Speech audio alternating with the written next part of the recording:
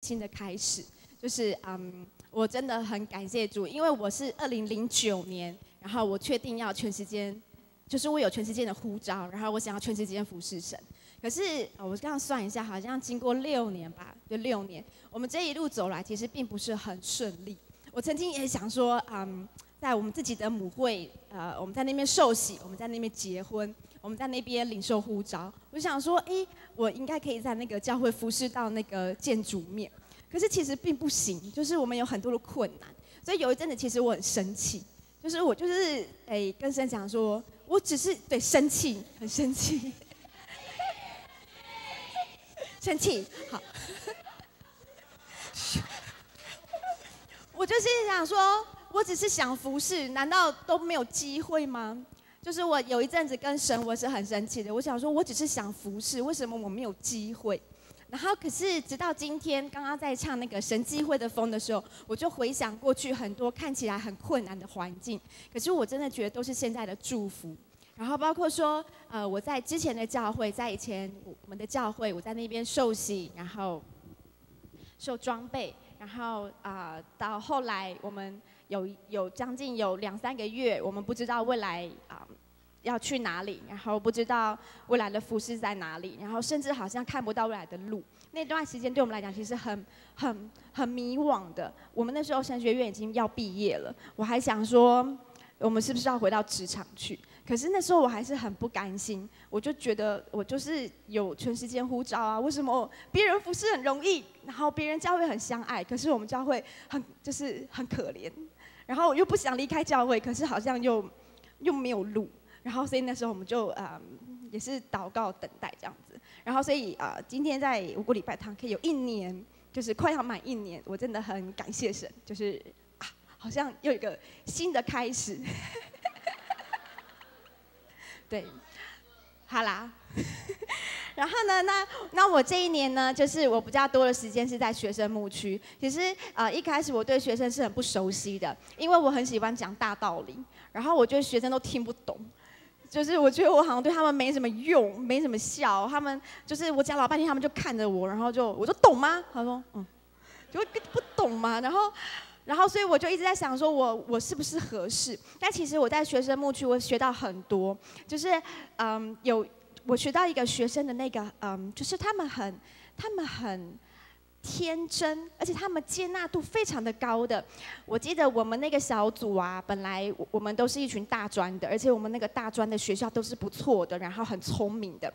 但是有一个小组，有一些人要过来我们这边，那他们那个小组比较多人是比较有状况、有问题的学生，我就一直很担心他们过来会不会影响到我们这个小组。小组员的对对他们的看法，能不能接纳他们？我一直很担心，所以我一直打预防针，讲说我们要爱他们，我们要接纳他们什么的。但是其实这都是我想多了。他们过来，我我们不到一个月就完全融合在一起。然后他们比我花更多的时间去照顾他们，然后去去去私底下用电话用赖关心他们，还教他们数学，就是付出非常多的努力，好像没有我之前那个害怕，就是。那个隔阂，觉得说好像他们来这边扰乱我们聚会啊，这些等等，所以我在学生牧区我学到很多，我也常常回想，其实我在学生的时候，我的梦想就是想要帮助人，我。我我有很重的这个想法，但是我后来觉得我连自己都帮不了自己，我就把这个梦想放弃了。我觉得我自己都搞不定我自己，我怎么能去帮助人？直到我认识耶稣，我才知道他是一切生命问题的解答。然后，所以我也是因为这样子，所以啊，就是很就很帮助我走上传道的路。这样子，然后我，然后那我除了在学生小组之外，我也呃在学生牧区之外，我也在真爱小组，在成人的真爱小组。真爱小组也给我非常多的帮助，因为他们都非常的欢乐。他们说他们就是真爱吃、真爱玩、真爱生。我们那边一大堆小孩，聚会吵死了，但是就是就是刚好很适合我们这个小家庭，然后跟他们一起欢乐、认识主，然后吃喝快乐、爱耶稣这样。然后真爱小组也嗯帮助我们更熟悉成人牧区。我们常常也是常常犯错，常常问一些蠢问。问题，可是很谢谢，不管是真爱小组，还有学牧区，还有各位弟兄姐妹同工对我们的包容，然后让我们可以在这边有一个全新、一个让我觉得很兴奋的开始。谢谢。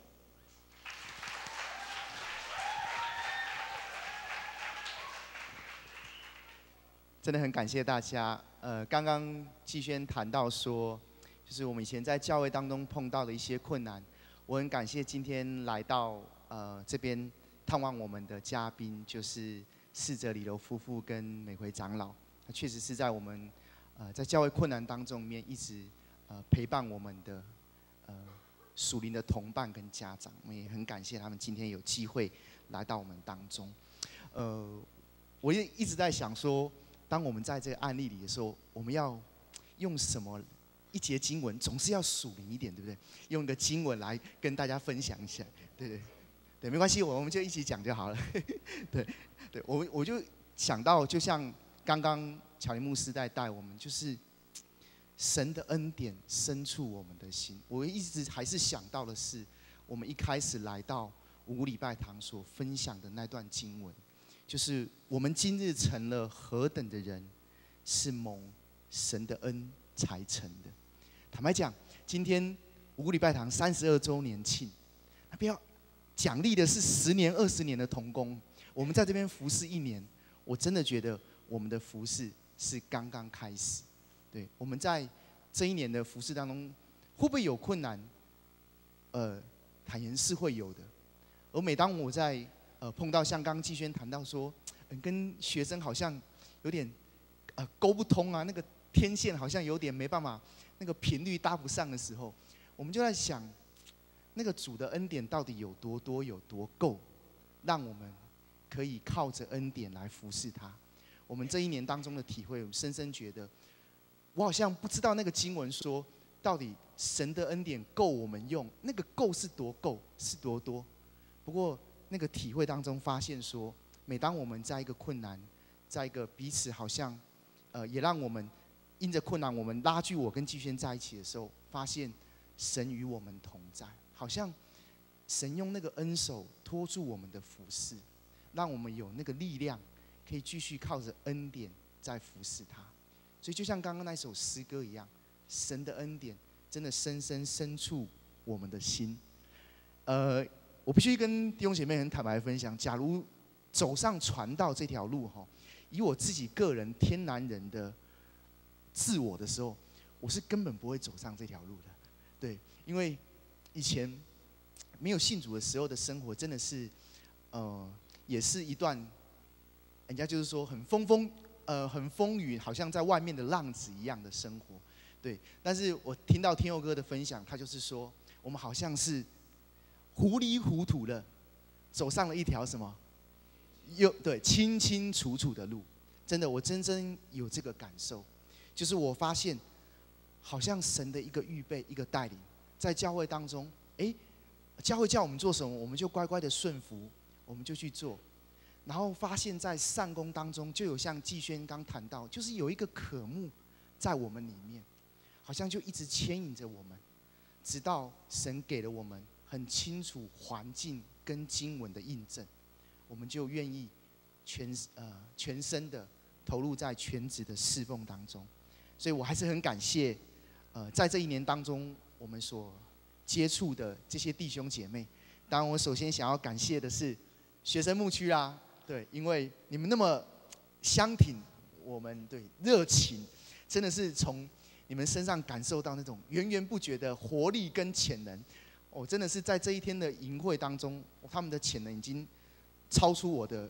意想之外了。有太多太精彩的什么戏剧呀、热舞啦。对不对？然后马上破冰，就给你想个十个游戏，就可以带着学生一起玩，真的让我们 已经是觉得他们的那个潜能的已经到了一个无限的地步，所以我们要说你们是最棒的，呜！呜，对，真的，我真的发现五谷学生的潜能真的